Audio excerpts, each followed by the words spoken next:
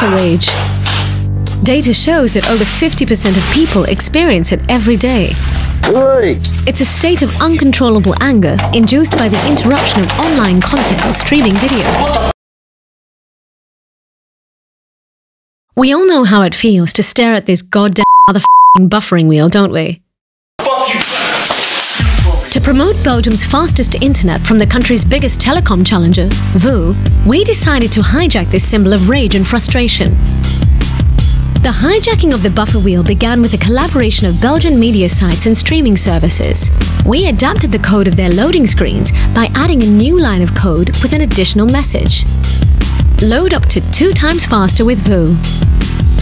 After 1.44 seconds, our competitive claim would appear because data shows that VOO customers never have to wait more than 1.5 seconds for video to load. So, for the first time ever, we made sure that every time non-VOO customers were confronted with the problem, they were offered a solution. We reached 70% of our target audience at the exact moment they were frustrated with our competitors' service. In the first five days, over 2 million messages were displayed. Retargeting was used to drive conversion,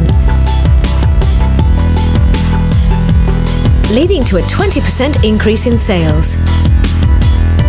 Yes, indeed, with a bit of code and some media collaborations, we managed to turn the actual buffering wheel into a new advertising medium with a very convincing message.